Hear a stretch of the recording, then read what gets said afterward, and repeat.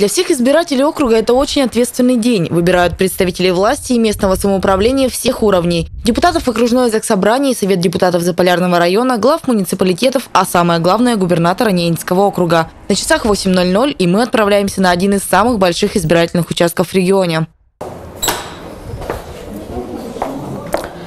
Здравствуйте. Ну и как мы видим, а, избирательные урны готовы, наблюдатели на месте, и мы ждем первых избирателей. Долго ждать не пришлось. На часах 8.04, а Надежда Самойлова уже пришла выразить свою гражданскую позицию. За то, что женщина первой проголосовала, ей достался приятный подарок – обложка для паспорта. Ну, надо обязательно голосовать надо, чтобы лучше жили, чтобы все было хорошо. И избиратели, которые выбрали, чтобы они свою работу выполняли.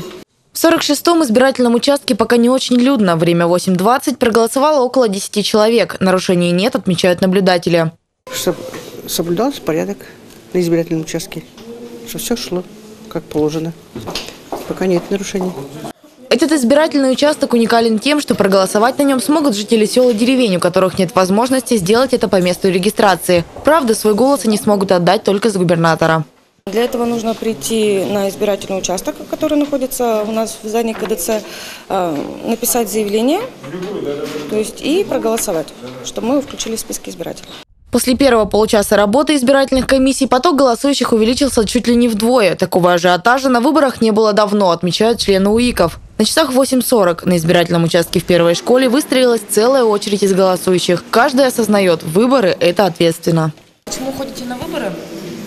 Почему хожу? Ну, считаю, что обязана проголосовать, сделать свой выбор. Надо на выборы ходить. Я всегда хожу, в общем. Поэтому свой голос надо отдать. Это же наше правительство было, так что надо.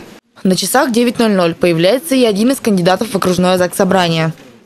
Это действительно важнейший день для округа, поскольку от того, как мы проголосуем, будет во многом зависеть наша жизнь в дальнейшем. А поскольку мы оптимисты, то мы считаем, что округ все равно будет развиваться динамично. Я думаю, что у округа большое будущее.